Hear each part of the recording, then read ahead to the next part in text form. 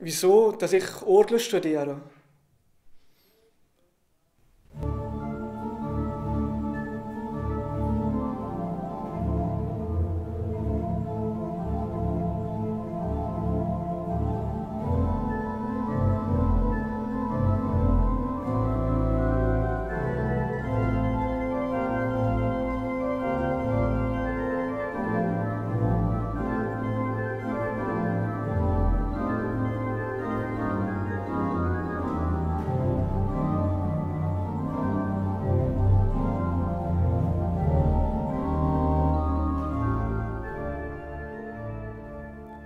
Weil die Königin von einem Instrument hat mich schon als Kind fasziniert.